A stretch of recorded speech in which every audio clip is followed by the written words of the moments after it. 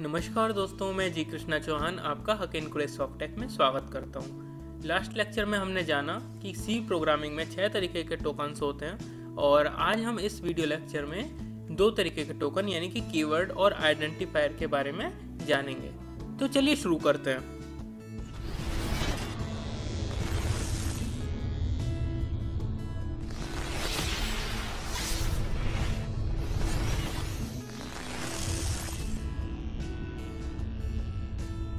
So, what is keyword? Keywords are those words which meaning is already being defined by the C compiler.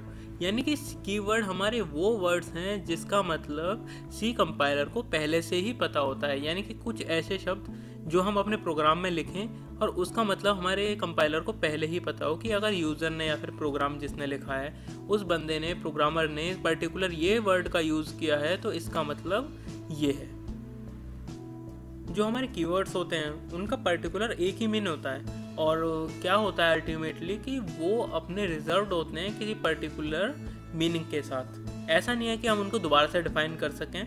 वो एक बार compiler में define किए जा चुके हैं कि भाई इस कीवर्ड का मीनिंग ये है। और हमारे ए एन एस आई सी के द्वारा बत्तीस कीवर्ड्स डिफाइन है। तो उन बत्तीस कीवर्ड्स को मैं आपको आगे डिस्कस करूँगा। अभी हम कीवर्ड्स के बारे में थोड़ी सी और एक चीज़ जान लेते हैं कि कुछ इम्प्लीमेंटेशंस जो कि बॉल एंड सी और माइक्रोसॉफ्ट के सी के द्वारा कीवर्ड्स इसमें कुछ एक्स्ट्रा जोड़े गए हैं, यानी कि 32 कीवर्ड्स से अलग जोड़े गए हैं। तो आइए हम देखते हैं कुछ कीवर्ड्स के नेम जो ए एन एस आई के द्वारा कीवर्ड्स हैं, जैसे auto to go to signed unsigned break double if size of void case as int static volatile char enum long struct while const extern register switch continue float return typedef default for short और union ये इस तरीके के हमारे A N S I में keywords हैं। अब बात करते हैं आइडेंटिफायर की। तो दोस्तों आइडेंटिफायर के बारे में सबसे पहली बात मैं आपको ये बताना चाहूँगा कि आइडेंटिफायर भी एक सी टोकन है, बिल्कुल कीवर्ड की तरह। और आइडेंटिफायर हो सकता है हमारा कुछ कलेक्शन लेटर्स का डिजिट्स का और अंडर स्कोर करेक्टर का। जैसे कि add underscore one add underscore two ये सभी हमारे आइडेंटिफायर्स हो सकते हैं। और कोई भी वेरिएबल नेम आपका आइडेंटिफायर हो सकता है। अगर आप कोई लोअर करेक्टर लिख रहे हैं, जैसे कि ए डबल डी एड आपने स्मॉल लेटर में लिखा है, आपने लोअर केस में लिखा हुआ है, और वही एड आपने अपर केस में लिखा है तो दोनों आइडेंटिफायर अलग अलग ट्रीट होंगे।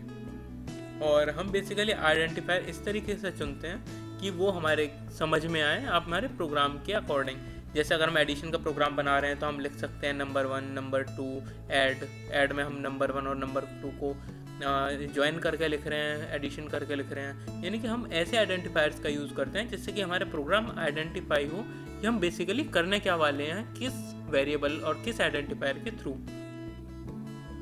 दोस्तों, यहाँ पर मैं आपको एक बहुत इंपॉर्टेंट बात बताना चाहूँगा कि जो आइडेंटिफायर्स होते हैं स्पेशल आइडेंटिफायर्स उसमें क्या होता है कि आपके किसी भी आइडेंटिफायर से पहले अंडर स्कोर लगा हुआ होता है।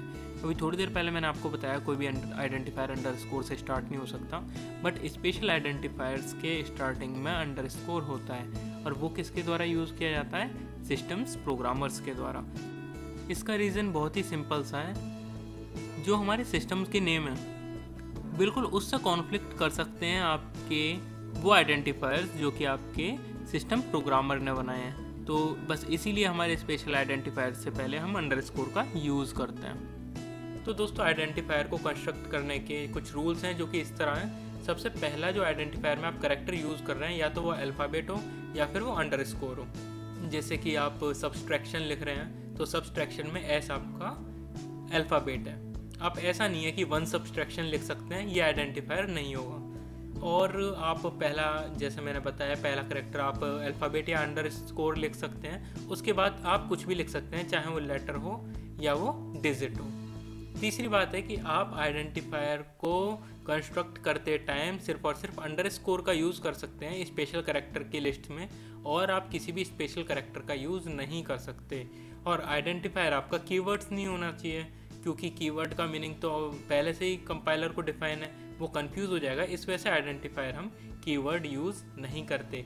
तो इस तरह से आइडेंटिफायर को कंस्ट्रक्ट करने के कुछ रूल्स थे। तो दोस्तों, आशा करता हूँ कि आपको ये वीडियो पसंद आया होगा। अगर आप इस वीडियो को पसंद करते हैं तो प्लीज़ एक लाइक दीजिए इस वीडियो को। अगर आपको कोई डाउट है कीवर्ड या आइडेंटिफायर में तो आप कमेंट करके मुझसे पूछ सकते हैं। आप इस वीडियो को अपने दोस्तों के साथ शेयर कर सकते हैं और अगर आपने ये चैनल अभी तक भी सब्सक्राइब नहीं किया है तो प्लीज़ आप इस चैनल को सब्सक्राइब कीजिए।